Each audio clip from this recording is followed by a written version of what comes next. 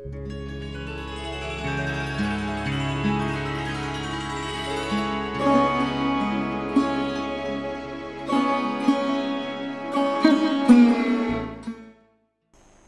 the next topic is uh, computational heat convection. So, we started with the first module computational heat conduction, then we moved on to the second module computational heat advection and then we are going to the third module which is computational heat convection. Now, this is just a combination or coupling of the first and the second module. So, in the first module you had conduction fluxes, in the second module you had enthalpy fluxes. Now, here we are taking the addition of those two fluxes. Here again as I had, so this sub, uh, the way the lecture is proceeding is the same way which I had done in the previous two lectures starting with introduction moving on to finite volume method then discussing the advection scheme followed by solution methodology implementation detail and finally discussing some example problems. So, in a convection I had mentioned that if uh, the temperature which you feel if you are standing in between ice and fire depend upon the flow direction, magnitude of the flow as well as the direction of the flow. And I had mentioned that if the flow velocity is small from the ice side you experience a temperature of 40 degree, if it is more you can experience a temperature as high as 10 degree. Whereas if it is from the fire side if the flow velocity is small let us say you experience a temperature of 60 degree but if it is high you can experience a temperature as high as 90 degree centigrade. So, here uh, the advecting variable or the driver is uh, velocity or which constitute the normal velocity which constitute the mass flow rate and the passenger or the advected variable is temperature. So, this I had mentioned earlier, but this is the just as I am not giving you the lecture notes so, in my slides I try to be as much elaborative as possible, this is just an explanation of those. Now, where do you find this combination of advection and diffusion? If you look into the energy equation, energy equation without volumetric heat generation and negligible viscous dissipation is basically an unsteady advection diffusion equation. This is what is shown here. However, if you look into the momentum equation other than the unsteady advection and diffusion term there is another term which is called as source term in computational fluid dynamics which constitutes the pressure gradient. So, here we want to study unsteady advection diffusion or unsteady convection. Now, for that either we, we if we take the momentum equation we have to assume the pressure gradient which I am not doing here. What I am doing is that we'll I am taking the energy equation because in this energy equation there is no other term. It's a pure unsteady advection diffusion. However, it consists of this flow velocity. Now, this flow velocity. So, so right now in this right now the equation which I am showing you is equation for a convective heat transfer problem for forced convection, not for mixed or natural convection.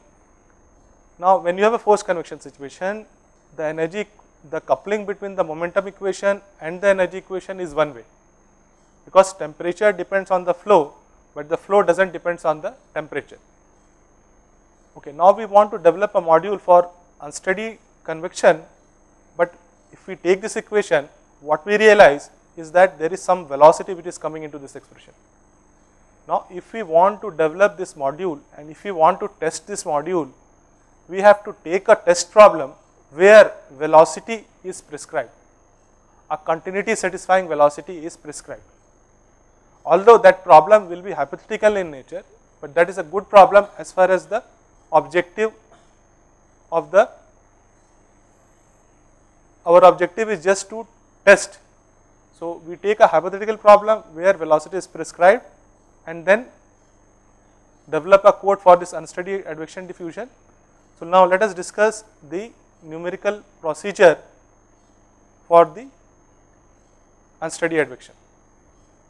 Now, for this I am showing you a problem. This is the animation which I show uh, that depending upon the magnitude of the flow you the temperature which you feel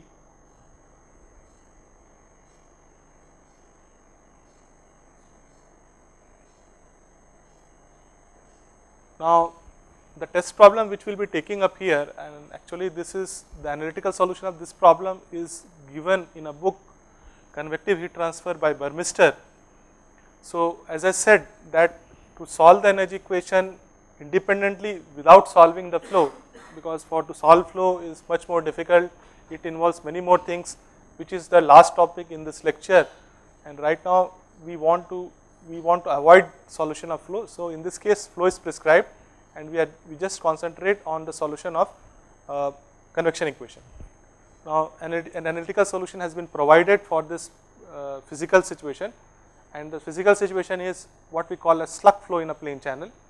So, the fluid is entering with a velocity u is equals to u infinity and v is equals to 0. Left wall is maintained at a let us say ambient temperature T infinity, bottom wall is hot Tw and the right wall it is a fully developed boundary condition dt by dx equals to 0. Now, as far as the flow field which is prescribed is concerned, this is the flow field which is prescribed. So, what we are assuming our domain is this rectangular domain where the fluid is flowing. There is an inlet, there is an outlet. At the inlet, there is a u, the constant there is a velocity in the x direction which is constant. And note that all over the flow field we are taking a velocity field such that u is equals to u infinity everywhere and v is equals to 0. So, this is the prescribed field for which we will solve the unsteady advection diffusion which is a convection equation and obtain the we will discuss the formulation, solution algorithm, implementation detail, develop a program then test into this problem. This is the problem which is which you will be solving in today's lab session. Okay, uh, let us come back to the slide. Okay, so this is the uh, problem which we will take for testing. Now let us go to the finite volume method. I will not go into too, deep too much detail. I will just this is just a revision of whatever has been discussed because the approximation which are involved I had already discussed in case of conduction and advection it's just that I am revising it. So, unsteady term there are two level of approximation. First level is volume averaging to represent temporal gradient of temperature in a control volume as the value at the centroid. Second level is temporal gradient of temperature at cell center is calculated by forward difference method. The advection term which constitutes the rate of change of enthalpy across the control volume. Note that the unsteady term in the previous slide constitute rate of change of enthalpy inside. Note the word inside here and the across in this slide. Across here, when we say across, there is an inflow and there is an outflow. Here in this case, enthalpy inflow and enthalpy outflow. First level of approximation, whenever you have inflow and outflow, the first level is surface averaging to calculate the enthalpy flux at the face control volume faces. Second level of approximation is the advection scheme which I had discussed earlier and this is the total advection. So, we had talked about unsteady term, advection term, we, then we come to diffusion term. For heat transfer it is a conduction. Total diffusion represents total heat gained by conduction heat transfer. Here again as it is a as the exchange occurs at the faces there is a flux. The first level approximation is surface averaging to calculate heat flux at the control volume faces. Second level is to calculate the normal gradient of temperature. Note that here the second level is normal gradient of temperature. In previous slide it is the value of temperature at face center. And finally, uh, we get uh, this is the unsteady form. This is the rate of change of internal energy of the fluid across the control, uh, inside the control volume. This is the rate of change of enthalpy of the fluid across the control volume. This is the total heat gained by conduction. This corresponds to this, this corresponds to this and this corresponds to this.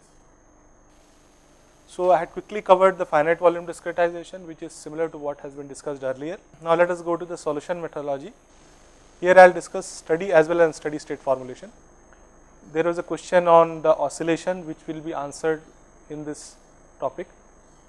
Now, let us take one dimensional situation. Uh, because in a one dimensional uh, I can show you a detailed expression and convince you that why oscillation occurs. So, the objective is to demonstrate the property of finite volume method for a simple problem which has an analytical solution. So, what is the one dimensional steady state advection diffusion? So, this is the advection term. It says it is a steady state, so you do not have a d by dt term and this is the diffusion term where rho is the density, u is the velocity. Note that here we just we want to solve for this variable phi which can be temperature and v is this velocity is prescribed. So, u is assumed to be constant here. Now, we are taking a problem where we will assume that at x equals to 0 which is the left boundary of the domain phi is equals to phi 0 and on the right boundary of the domain phi is equals to phi l. Physically what does this represent? This advection if you go to the control volume and if you try to understand what does this represent, let us say if T is temperature, then you are right now you are looking into a differential equation, but can you convert this into a control volume formulation, can you go, go back to the control volume and say that this term is coming from enthalpy flux in which phases? This is coming from enthalpy flux on the vertical faces this is coming from conduction heat flux on the vertical faces. So, it physically it represents a situation where let us say enthalpy transport is balanced by the conduction heat transfer in the streamwise direction. The advection in streamwise direction is balanced by diffusion in the streamwise direction. I will take an example in the next slide where this is what does not happen commonly. What happens commonly is advection in a streamwise direction is balanced by the diffusion in the transverse direction. That is the why that is that is how the boundary layer grows. I will show you in the next slide. Uh, I will discuss this through an animation. Let us come to the small window. So, here what you see is a flat plate. Now, here I want to show you that what is the direction of advection and what is the direction of diffusion. So, we are considering free stream flow over a flat plate. What is happening? When the plate is stationary and the flow is passing across it. So, why action is happening? Because plate is stationary. If plate is moving with the same velocity with which fluid is moving, then there will be no action. So, what is action in fluid mechanics? When there is a difference between the velocity of an object and the fluid velocity. And it what action means is that it action means velocity gradients. If there is no plate, there will be no velocity gradient, the fluid which is coming it will keep moving with that velocity, no velocity gradient, no action. As soon as you have a plate which is stationary, you end up with a velocity gradient and the action of flow starts. What we mean by action? is we see a velocity variation as far as physics is concerned and we also see engineering parameter like wall shear stress.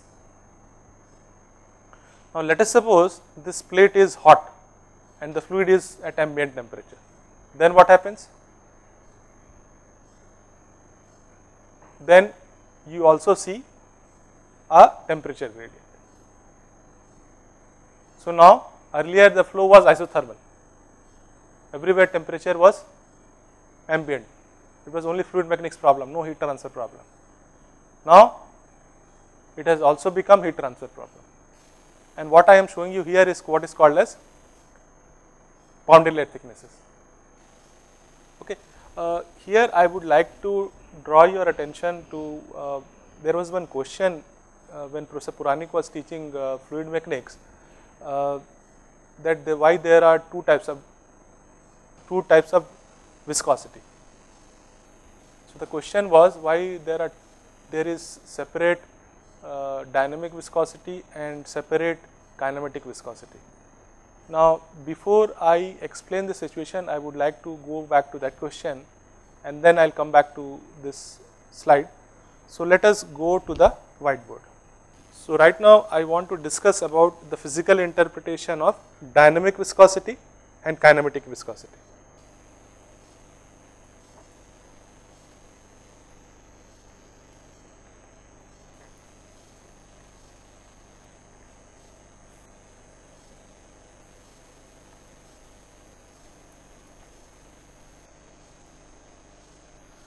The physical interpretation of dynamic viscosity is that it represents internal fluid internal friction. So, it is a basically internal friction coefficient.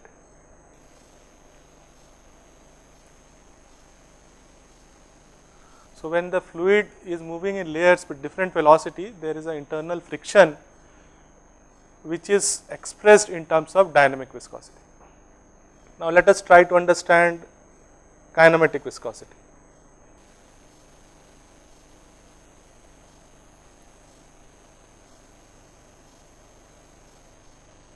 Denoted by nu which is mu by rho. Now, to understand what is kinematic viscosity, let us take an example. The example is let us suppose uh, we have a tank which is infinite in this direction y tending to infinity and let us suppose we have a conveyor belt here which is moving with a constant velocity let us say u naught and let us suppose you have water here. Then what happens is that let us suppose after 5 minutes, after 5 minutes let us see that the velocity or this velocity is penetrated to what depth? Let me denote it as delta.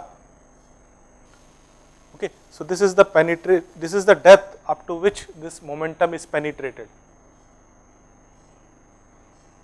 Why this is happening? Because the depth of this tank is infinite and right now what is happening is a diffusion phenomena the momentum of that conveyor belt is being penetrated or diffused to the bottom layers of the fluid and it takes time to penetrate. So, this kinematic this penetration depth is directly proportional to square root of kinematic viscosity. So, instead of water if you take oil it has a different kinematic viscosity. So, you can physically interpret kinematic viscosity that it has a role as far as this penetration depth is concerned. So, if a fluid has more kinematic viscosity, there will be more penetration depth. Analogous to kinematic viscosity, there is another term which is there in heat transfer. What is that term? That term is thermal diffusivity denoted by alpha which is k divided by rho Cp. You can do a same experiment and you can uh, draw the same phys similar physical interpretation.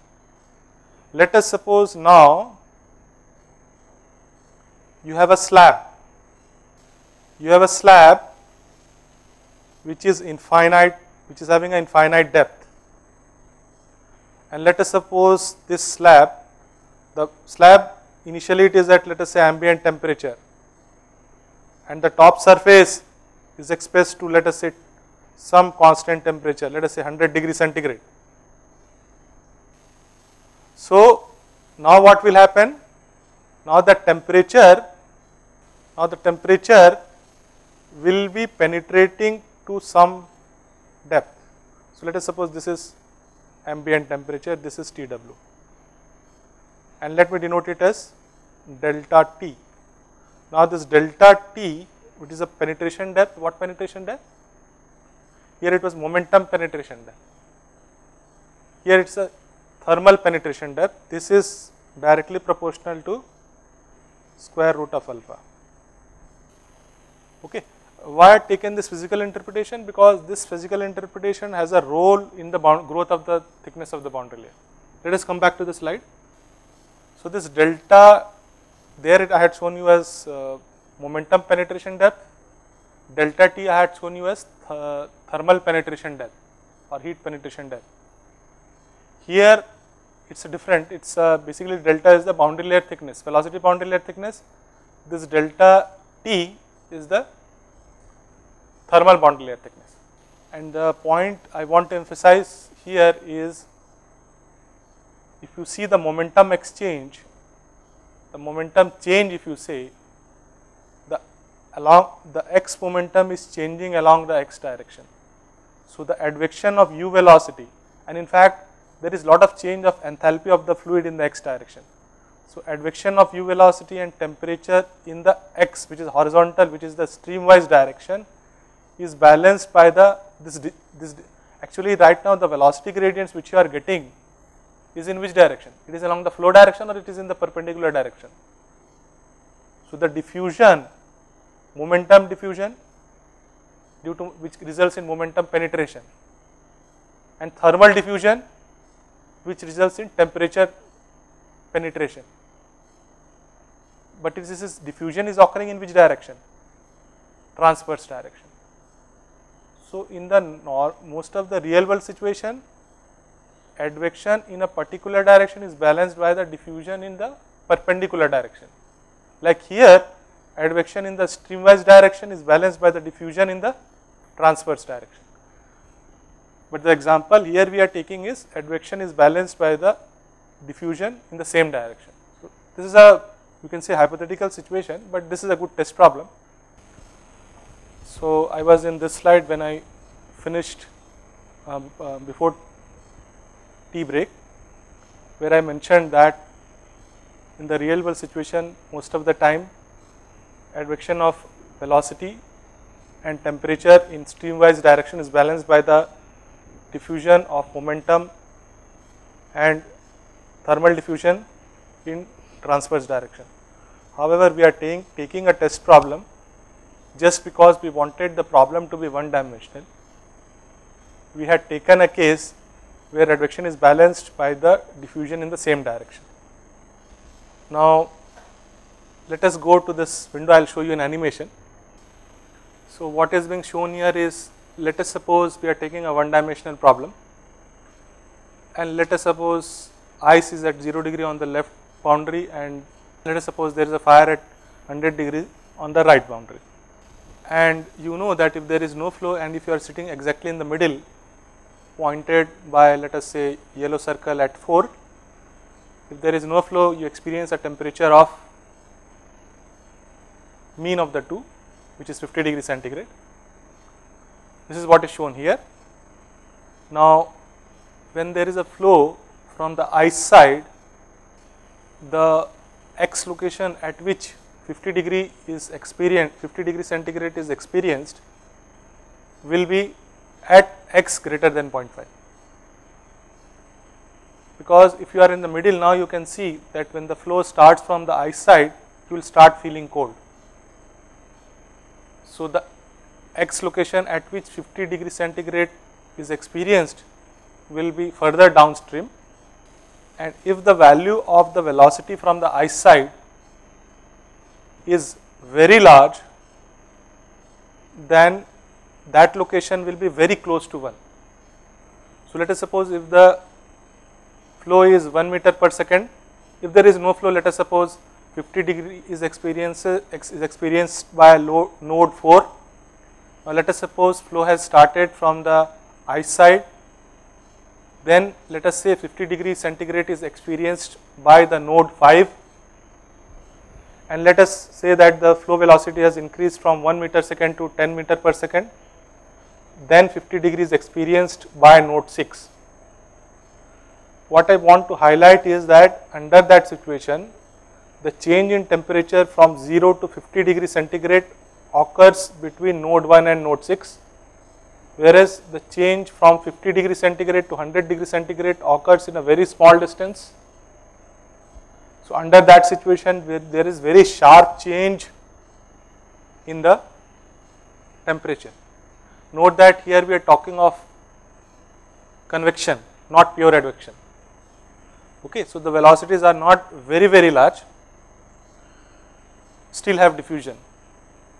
Vice versa if the flow is from the fire side at 100 degree centigrade. Now in this case the x location at which 50 degree centigrade is experienced will shift towards x equals to 0 with increasing velocity. So when the flow is from the ice side the location at which 50 degrees experience shifts towards fire side. When the flow is from the fire side the x location at which 50 degrees experience shifts towards the ice side. Let us come back to the slide. So that is what is being shown here.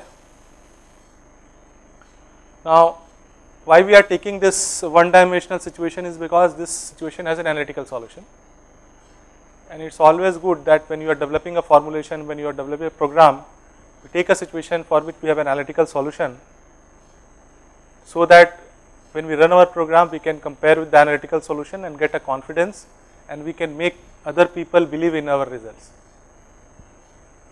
So as I mentioned physically this represents a situation where advection is balanced by diffusion in the streamwise direction where x is the streamwise direction.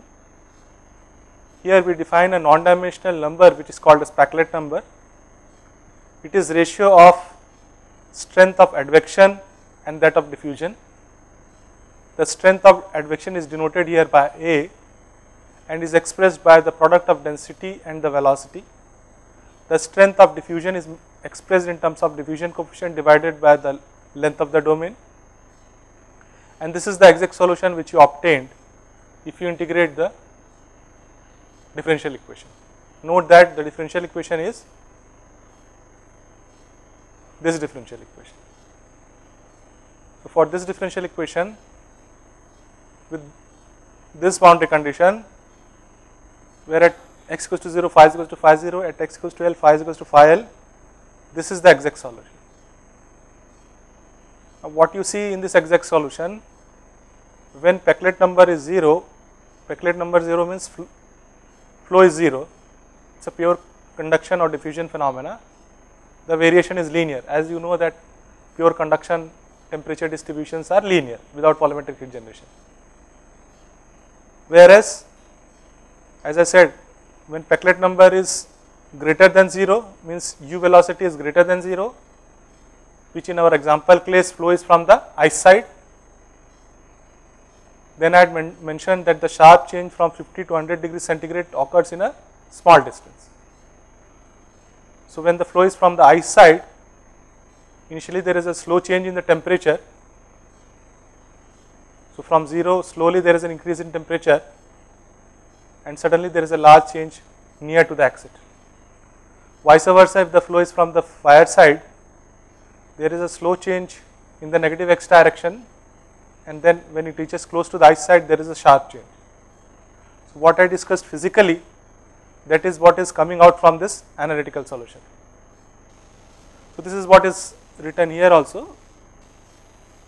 So if left boundary condition value let us say temperature on the left side is less than the that on the right side. In case of small velocity Peclet number is close to 0 and advection can be neglected and solution is linear. Where Peclet number is very large and it is positive phi grows slowly with x then suddenly ri rises over a short distance and vice versa for negative values of Peclet number. Now, the real challenge in this test case is there is a sharp change near to the exit, near to the outlet and how to capture it accurately is the real test. This is the finite volume discretization.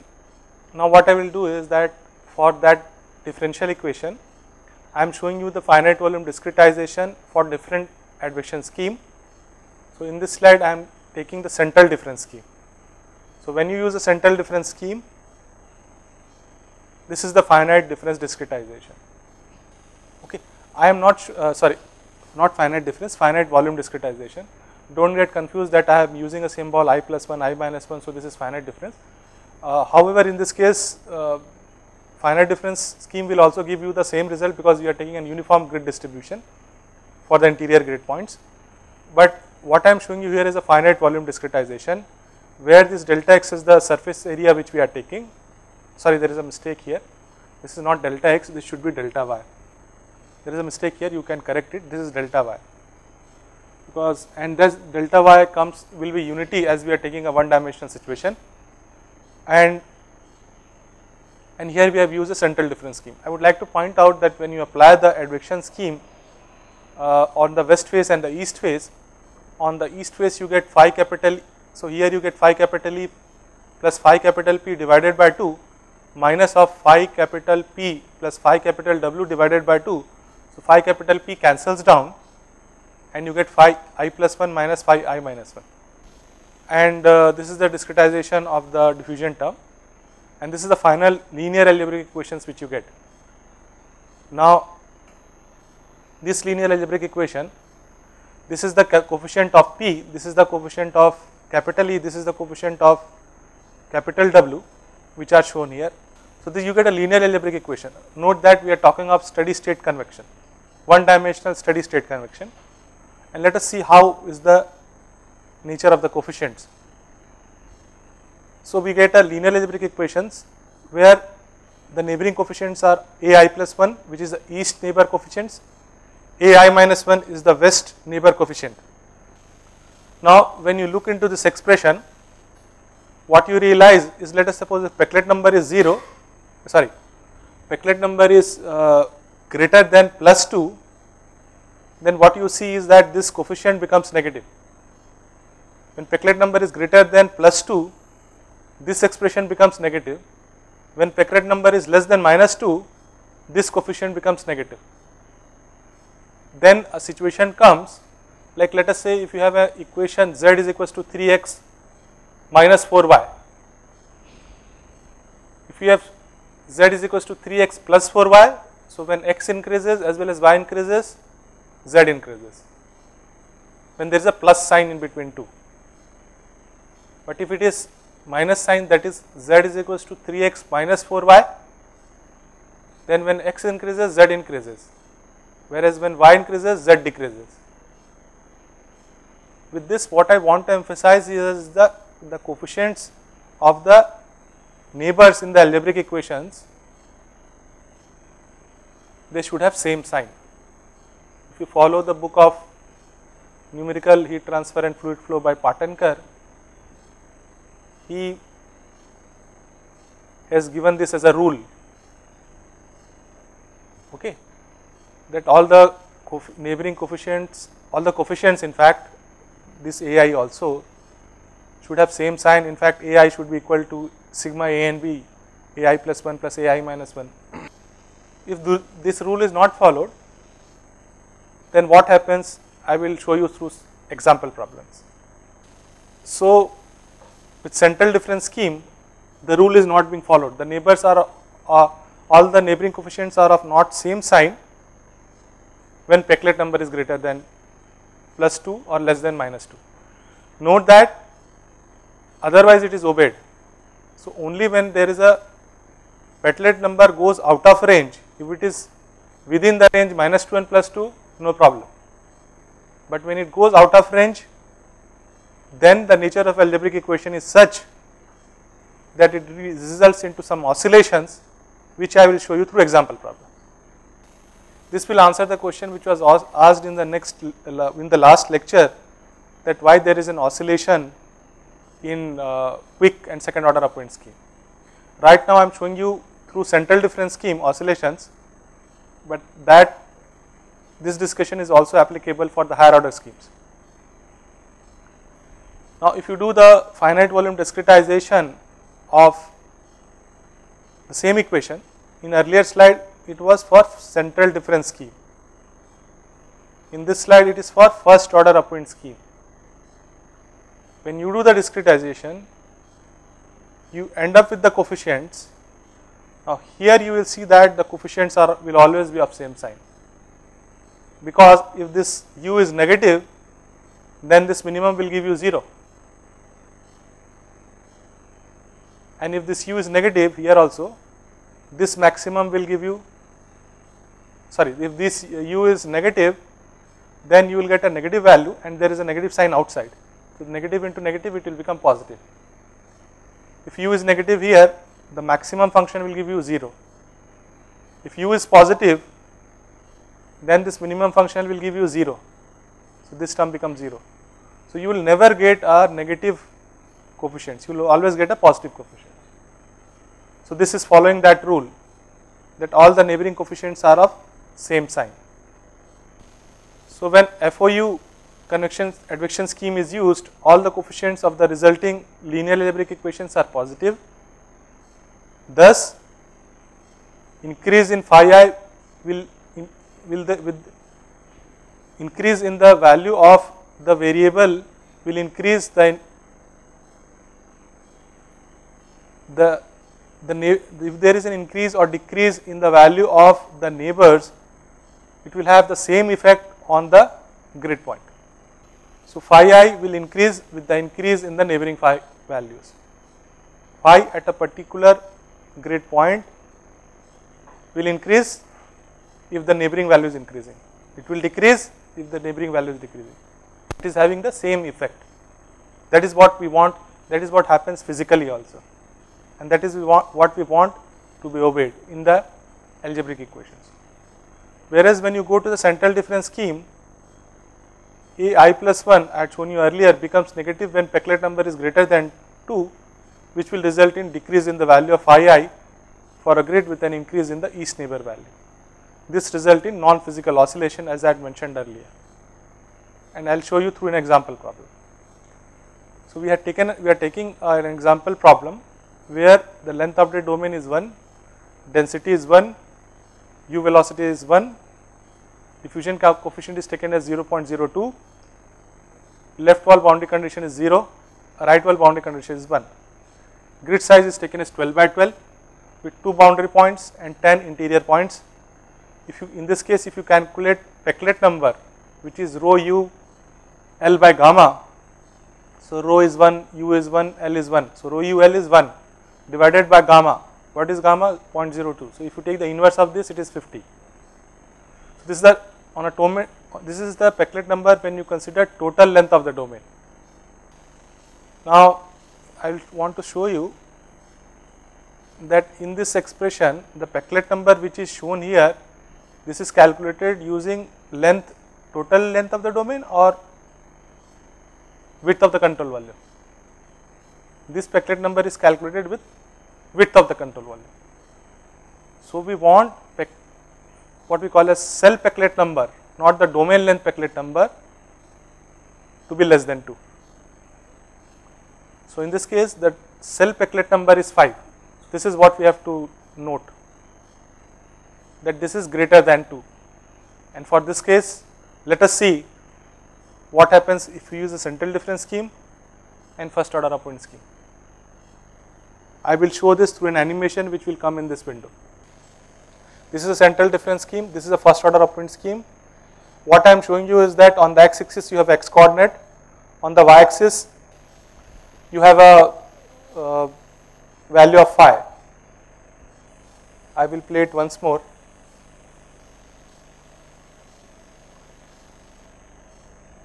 This is central difference scheme. So, you there is a, you can see there is an oscillation and this is the steady state result. When you use a first order upwind scheme, it's smooth, there is no oscillation. Let us come back to the slide and I will show you the steady state solution. This is the steady state solution. And in this steady state solution, you can observe there is an oscillation in the central difference scheme. Why? Because the cell Peclet number is greater than 5, which makes the east neighboring coefficient negative which results in oscillations, value going oscillating about 0. By the way, this oscillation is occurring in which region, which x location? What is the flow direction? This is the x coordinate, flow direction is positive x direction. So this oscillation is occurring in the between x to between x equals to 0 to 0.5 or between x equals to 0.5. So it is occurring near to the inlet or it is occurring near to the outlet. Note that these oscillations are occurring near to the outlet. Why? Because near to the outlet there is a sharp change in the temperature from 50 to 100 degree centigrade. Flow is from the ice side. So you know that the location at which 50 degree centigrade is there is close to the outlet and close to the outlet there is a sharp change in the temperature. So even when Peclet number is greater than 2, it creates problem in regions where most of the action is occurring. It creates problem where sharp changes are occurring. So if you generate a, if you are clever enough, if you know where real action is occurring, you can use a non-uniform grid and make sure that the cell Peclet number in those regions are less than 2. Note that this I am discussing it for a convection problem where we are one dimensional advection diffusion equation. When we solve the Navier-Stokes equation, this is used as a guideline. Although right now whatever we have shown this is for this equation where there is no pressure gradient term. This is not directly applicable to Navier-Stokes equation which has other than the advection diffusion pressure gradient term, but this is used as a guideline when using central difference scheme. Now this is the, now if you in earlier slide what was the grid size 12 by 12. If you increase the grid then what will happen to the cell Peclet number? Cell Peclet number is directly proportional to delta x rho u delta x by gamma. So when you have more grid, grid size your delta x reduces. So your cell Peclet number reduces. Like here in this case the interior grid point in earlier case was 10, now it is increased by 4 times. So the cell size reduces by 1 fourth. Number reduces by 1 fourth. So in earlier slide it was 5. In this slide cell Peclet number is 5 by 4. And in this case you see that in central difference scheme there is no oscillation. And as this case has an exact solution, you can see that the central difference scheme result is having an excellent match with the exact solution. They are almost lying one over the other. The green, sorry, the blue line is calculated value or computed value from the code and the black line is the exact solution which I had shown you earlier. This is the exact solution which is plotted there. When you go to the first order upwind scheme, now what you are seeing is that the result is not matching. Actually if you, so the domain Peclet number is right now 50. Now what I, what you do is that go back to that exact solution. So in 50 this black line is coming. Now if I want to know create this exact solution which almost goes matches with the first order upwind scheme then what I do is that in that exact solution this Peclet number I keep reducing. When I keep reducing the Peclet number in this expression so what I am telling is telling is that with the cell Peclet number 1.25 and right now let me tell you that the in this exact solution the Peclet number which is used, this is which one? Cell or domain? This is domain Peclet number. So in that slide, domain Peclet number was 50. However, with that 50 Peclet number, domain Peclet number, the black line which I am getting from the exact solution, the first order upwind scheme is not matching. However, let us do one thing.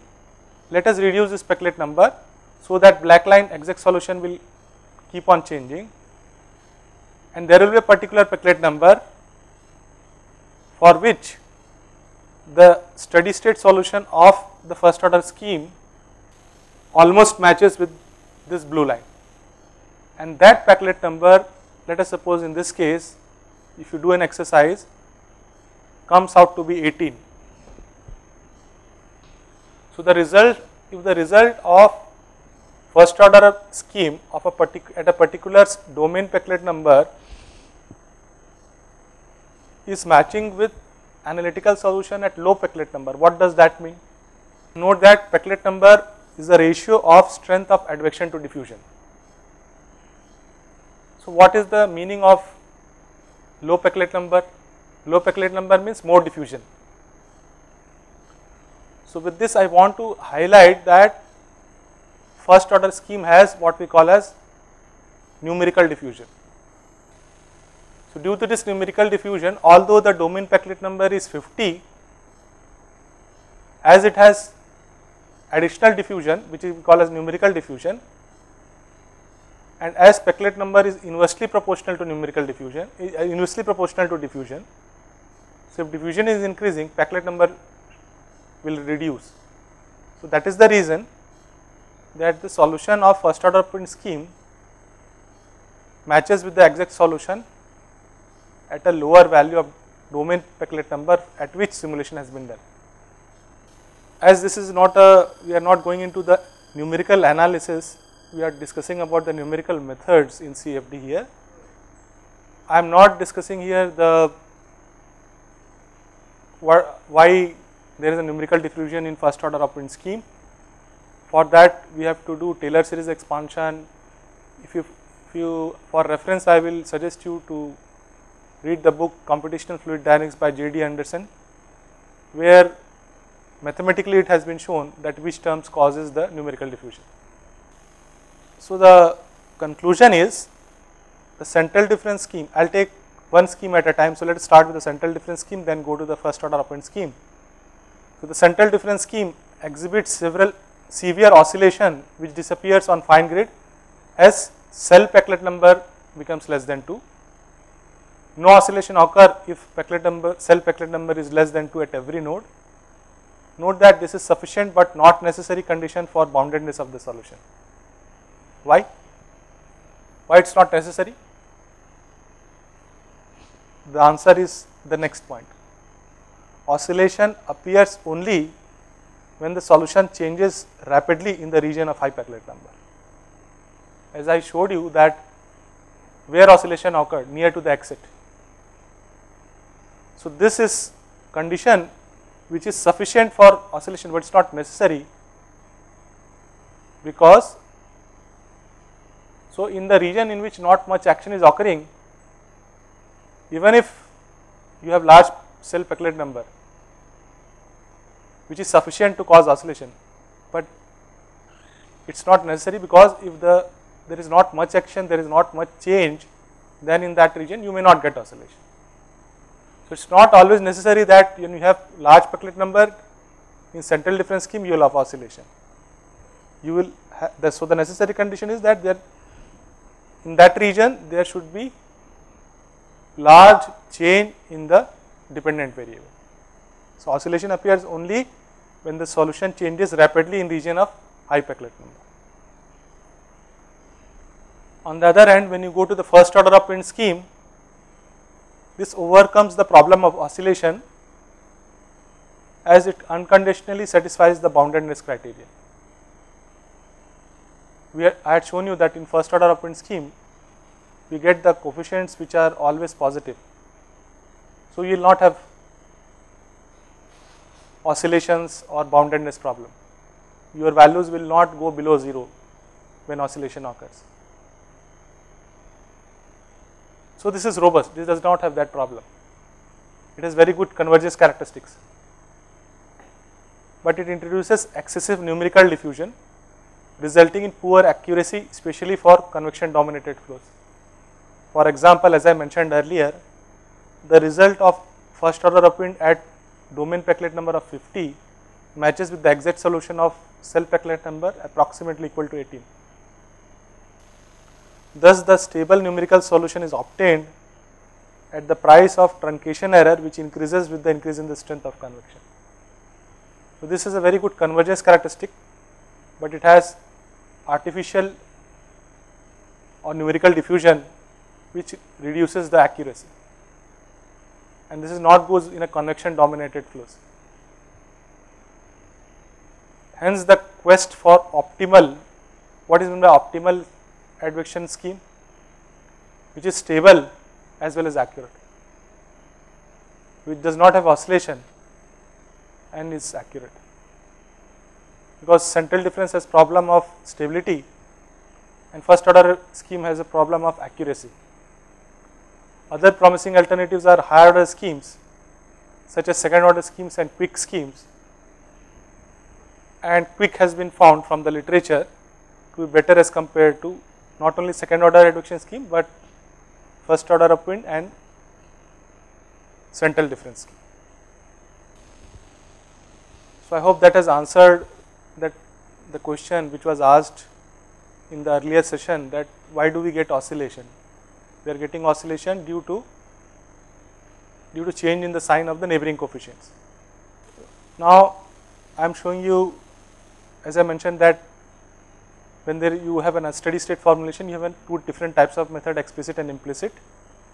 So, this is the expression where we calculate the total heat gain by conduction and enthalpy transport by using the temperature of the previous time level. This is fully explicit and this is fully implicit. There is another method which I had not discussed as far as which is called as Crank-Nicolson where they give they calculate 50 percent of heat transfer from the using the temperature of the previous time level another 50 percent from the new time level which is second order accurate in time, but I had not considered that in this lectures.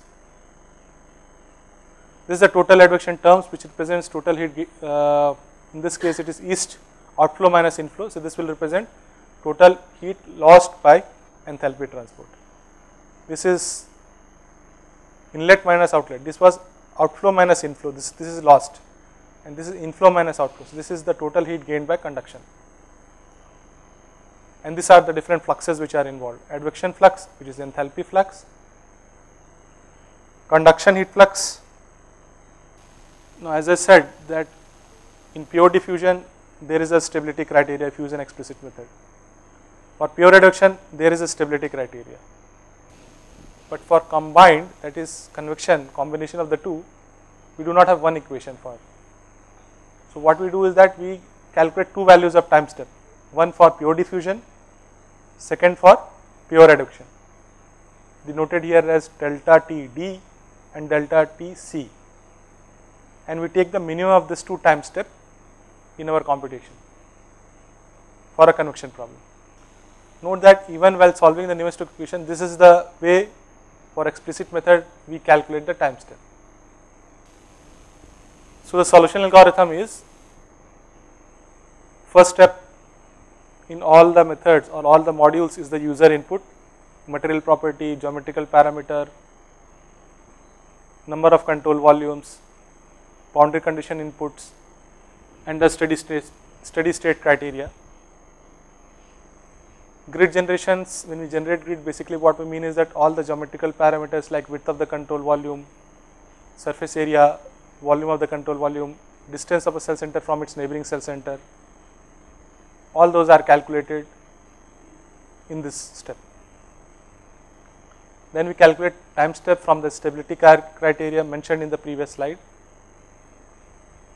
Here as I said that we are not solving the fluid flow, the problem we take is flow field is prescribed. So, we can calculate the mass fluxes. We set the initial condition for let us say temperature, then the boundary condition. Before we go for the computation for the next time step, whatever temperature we have, we take it as an old value. In this step, we calculate total heat. Here you can see it is inflow minus outflow. So, it will rep represent total heat gained by the enthalpy transport. When you calculate total diffusion, it represents total heat gained by conduction heat transfer.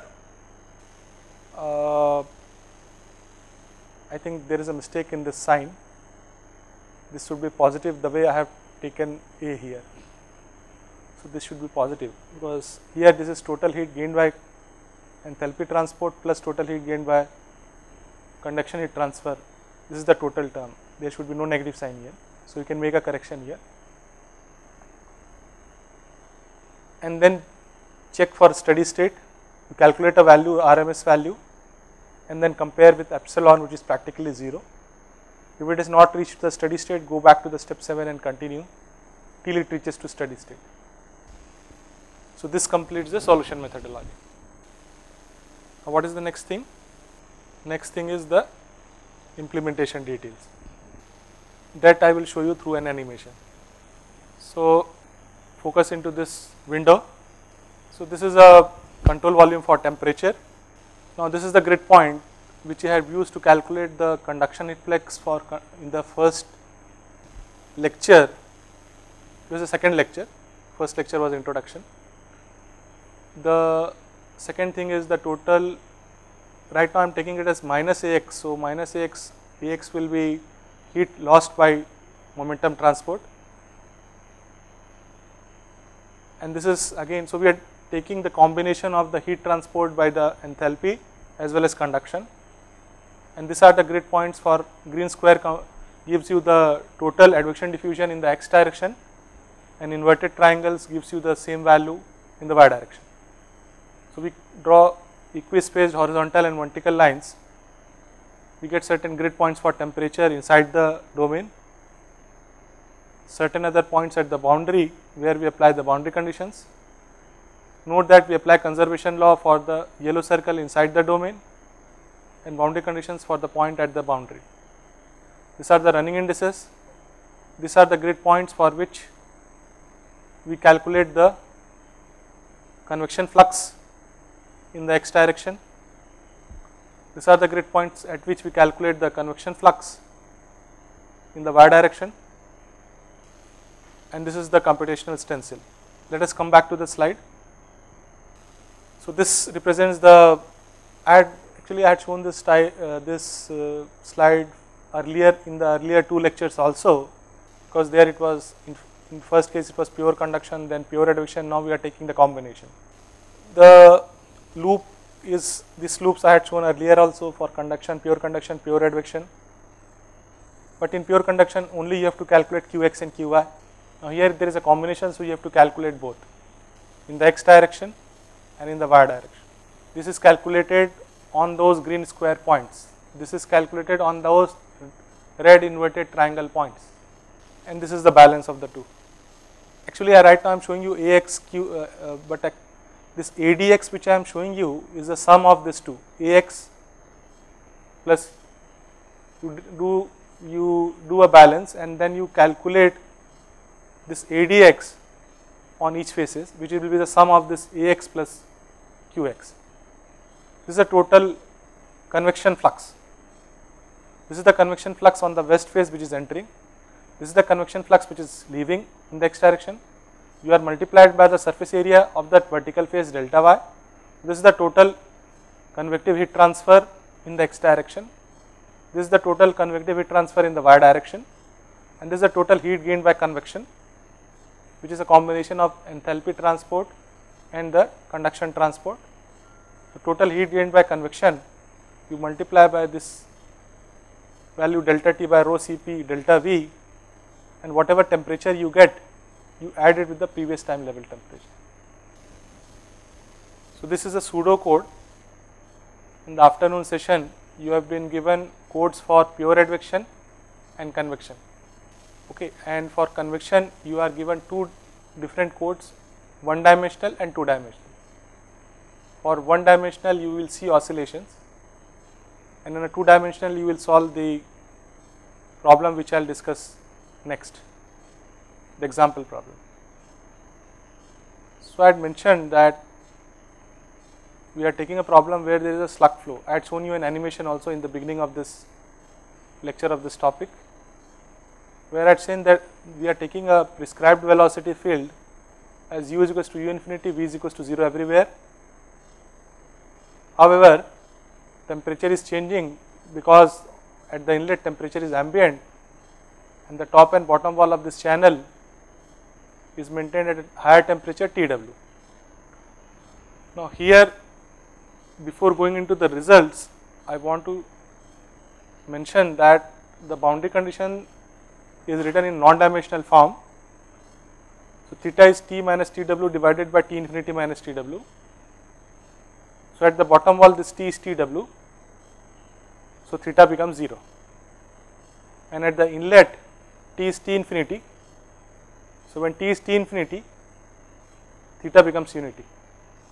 So, the boundary condition is at the inlet non dimensional temperature is unity and on the top and bottom wall it is 0 and this is the result which has been obtained at different axial location. This figure shows you the non-dimensional temperature profile at different axial location.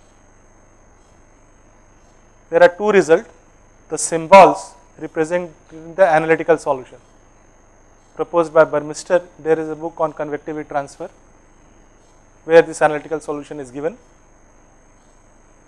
and the lines here represent the result which has been obtained using the formulation and implementation detail solution algorithm which has been discussed earlier. So, the red solid line and this red symbol you can see the line of a color as well as the symbol of the same color you can see they are exactly matching. So, which shows cle clearly that there is an excellent agreement or matching between the numerical and the analytical solution. So, this is close to the inlet. So, as you move away from the inlet that so near to the inlet the center line temperature is close to 1, but as you what happens is that when as the fluid enters heat transfer starts and thus what will happen? So at the inlet fluid temperature is ambient wall temperature is higher. But as the fluid enters and passes across the channel then slowly the center line temperature will reduce. Sorry center line temperature will increase but the way we have not done the non-dimensionalization the value of theta will reduce. So, there is a reduction in the center line temperature. Note that this is at axial location 2, this is at 6, this is at 12 H this is at 18 H. Okay. So, this will continue. So, with this I had shown you the formulation, solution algorithm, implementation detail and the testing for two dimensional convection problem. We had also taken one dimensional steady state convection and there I had shown you why oscillation occurs in central difference scheme. I had shown you for that there is an analytical solution. So, you can develop a 1D code and test with that problem and, or, and when you are developing a 2D code you can test with this problem. For both this problem you had been given a you, in the afternoon you will be solving both this problem and obtaining similar results. So, for teaching CFD we have given you sufficient material which you can use to prepare your lecture notes. So, with this I had come to the end of this topic and uh, thank you for your attention. Let us have 5 minute interaction. Nitte Meenakshi Institute of Technology Bangalore, please ask the question. Yeah, the question is about the advection code uh, you have developed and uh, this actually tracks uh, the temperature but here we are not solving the Navier-Stokes equation is that right? Yes. So which means that we can also solve this problem in totality by using the complete Navier-Stokes equation and energy equation. Yes, you are right. Okay. Can you just elaborate on this? Uh, the purpose is only for benchmarking or? So the question is uh, right now I had shown you advection taking an example of temperature but indeed this is applicable for momentum transport and uh, the question is can I elaborate further on it. I would request you to hold on because the next topic which I am taking I will be elaborating all those and there I will show you that the same advection we will apply for momentum transport across the control volume. So, if you have further question you can come back in the evening session. Thank you. Just, just one more, sir. Just one more. Uh, this free slip boundary condition and far field are the same? Yes, yes. VPCOE Baramati, please ask the question. Yeah, so my question is what is optimal advection discretization?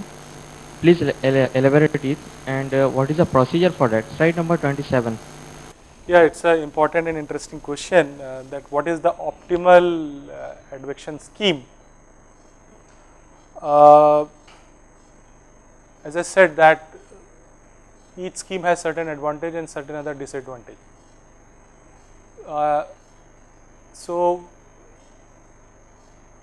so we- to know what is meant by optimal, I will try to give you a flavor that optimal means that ultimately we want to achieve accuracy by paying a price. So, what price we pay?